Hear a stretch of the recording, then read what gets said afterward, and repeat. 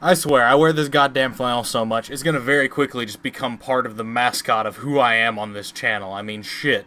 At events, wearing this flannel is how I've been spotted the most as of recently. It's almost like people, like, have it hard-coded in their brain. Look for the red and black patchwork flannel. That's where the Phoenix Man's is. That's where he be. That's the secret. This video is brought to you in part by SecondChanceGaming.com. They are a direct sponsor of me and this channel, and so if you want to indirectly support the channel while also buying or selling cards for your own matches, your own tournaments, your own duels, your own purposes, your own needs, then definitely check out their site and see what they have to offer you. I'm a big fan of how they do business, and their pricing and shipping from what I've seen and experienced thus far are both top notch. So definitely check out their site, which is linked in the description, and let them know that Phoenix sent you. But with that out of the way, let's get straight into the video. Hey, what's up guys? Phoenix here. In this video we're going to be talking about another new fairy spoiled for release in the new fairy structure deck R that's coming out in the OCG. Now, I actually don't know if we've been given a date on that's release date drop yet. I'm going to have to definitely double check into that one because based off if a date exists or not, that means we should be getting more information in a more structured time frame or not. So, I don't know if a date for that's been announced or not yet, so I definitely want to check into that one. But anyway, the new fairy that we have access to in terms of information today is Angel Sage Minerva. At least that's its tentative translated to English name from the Japanese name. Its name could be completely different or at least somewhat similar once it gets, you know, its actual TCG name. But regardless, you know how this should work by now. It is a level 4 light fairy effect monster with 1700 attack and 400 defense, and it has a continuous effect of each time a counter trap card is activated, this card gains 500 attack immediately after it resolves. Also, if the Sanctuary in the Sky is on the field, add one counter trap with a different name from that activated card from your graveyard to your hand. So, this is an additional piece of support for basically counter fairies as a whole, going alongside Bountiful Artemis and Meltiel, Sage of the Sky, and all that sort of nonsense. Now, this card isn't really as amazing as I would have expected them to be giving new fairies to us as. Like, I was expecting a lot more out of like the other fairies that we'd be seeing out of this new structure deck to at least try to support Angel Knight Arc Parshath's insane summoning condition. But at least this is another fairy that can be utilized in the bog standard counter fairy deck from what it seems. Now, it does require you to have the Sanctuary in the Sky on the field to gain its actual good effect, which that effect of add a counter trap that has a different name from the one you activated from your graveyard back to your hand, that's actually kinda legitimate because that means that you are going to be able to just have another card that just facilitates advantage for you. Especially if you have something like Ariadne in your scale and you're activating these counter traps for literally free. That means you're going to be able to activate Divine Providence 1, or not Divine Providence, Divine Punishment. Where did Providence come from? Ultimate Providence. That's the one. I combined literally two separate card names there. There's Divine Punishment that is a counter trap card that's literally Solemn Judgment if you have the Sanctuary in the Sky on the field, meaning that if you have Sanctuary in the Sky up, this card's good effect will be able to be triggered, meaning you could activate Divine Punishment. You have Ultimate Providence, that if you have Ariadne in your scale, you're being able to negate anything for free, essentially. You have your strikes, you have your other counter traps like Drastic Drop-Off, Solemn Warning. What other good counter traps are there? I don't even want to say Dark Bribe. That's like a meme. but regardless, the the ability to add back counter traps is definitely definitely nice, and it requires Sanctuary in the Sky to be face up on the field, but that's never been a huge issue in the deck in the past nor now. I mean, if you were ever playing Meltiel, then you required Sanctuary in the Sky to get the good effect there too, so I mean, there, there's some things you need to consider here before you start just dismissing this card. Now, do I think it's an instant 3 of in any counter fairy deck? No, not quite. Um, it's definitely a good one or two of, probably. It's just, it's another good name to have in your deck to give further weight to Ties of the Brethren plays.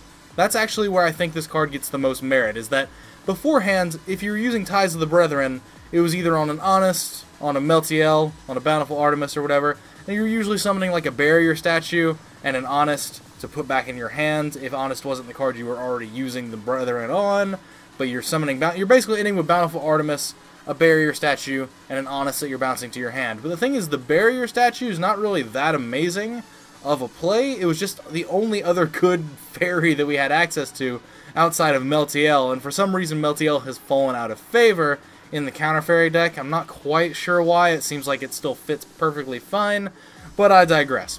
This, alongside Meltiel, gives you a lot of actual variety that you could have with your Ties of the Brethren stuff, as well as play more cards that make your Ties of the Brethren live. Like you could play one or two of this, one or two Meltiels, then you've got your Triple Bountiful Artemis, and then things just sort of start happening. Now, this thing does have the ability to gain attack when the Sanctuary in the Sky is not on the board, and I mean, that's kind of still relevant because if you activate three counter traps, which, like, you should ideally be ending every single one of your turns with two to three counter traps set. Otherwise, you're probably not playing counter fairies correctly. This thing could easily boost itself up by 1500 after you activate all those. So, I mean, it's still a respectable attack boost, but it's not the main meat of why this card could be potentially good. It's definitely the secondary effect, the Sanctuary in the Sky effect, that allows you to add the cards back. Because essentially, what you have access to is continually adding back every counter trap that you activate after you activate one. The first counter trap you activate while this card's on the board, if it's the first counter trap you activated all game, it will go to the graveyard and it will stay there. Fair shout. But as soon as you start activating counter traps of different names, you just get to continuously add these counter traps back. This card's effect isn't once per turn. That's kind of like obscene if you actually think about it. The fact that you could have this and Bountiful Artemis on the board, right? And you're negating things with counter traps. You're drawing cards, and then you're just adding the counter traps back.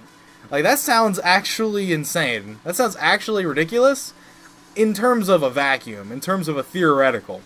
I don't know if, uh, I don't know if this card is going to be particularly played, I don't see why it wouldn't be, especially considering that, you know, you have Hecatrice that searches for the Sanctuary in the Sky, which puts a Fairy Engrave for the Angel Knight Arc Parshath, which is the card that I'm really excited for out of the structure deck. And I'm still waiting for more fairies that, you know, will support that a bit better, but this card is still perfectly fine. I've been seeing people saying that this card's not really worth the slot, and I mean, it's arguable. I definitely think that it facilitates a lot of advantage in a similar way to Bountiful Artemis, and so I'm not quite sure why you wouldn't run it, other than the normal summon clogging problem of you don't want too many monsters in your hands. But then you have Ties of the Brethren, which makes this card have a little bit more value. I don't know. Some people have some thought processes that I can't really align myself with, but maybe that's because I'm a little bit kooky and insane on the inside. Who knows? But anyway, I want to know what you guys think about this card in the comments down below. Do you like it? Do you hate it? What do you think of its effect? All that sort of nonsense. Would definitely be curious to know of your opinions. But other than that, as always, guys, thanks for watching. Again, let me know what your opinions are in the comments down below. But as always, like, comment, subscribe, do the nonsense you usually do. Links are in the description to my Facebook fan page, as well as my personal Patreon page. If you want to support the channel directly, help continue to make me be able to have time to afford to make this content, because essentially, it's kind of a little bit of what helps keep this channel going in terms of me being able to consistently try to improve quality content as we go. I'm trying to make the channel better and better with every single video upload, and a lot of people have seen that in the past week of uploads, and a lot of people have given me a lot of praise for it. My viewership and my numbers and my stats have been growing. The engagement with fans and subscribers has been higher. Like, I'm, I'm trying to make this an actual thing. Like, I feel like this channel could be amazing and I want it to be amazing, and I'm trying to work as hard as I can at it. So if you want to go to that and check that out and help contribute to it, as well as getting some rewards back for yourself, then you'd have my eternal gratitude if that's something you want to go look at and consider contributing to. But other than that, as I've already said, thank you so much for watching. Thanks for your time as usual, and take care, guys. I will see you in the next video.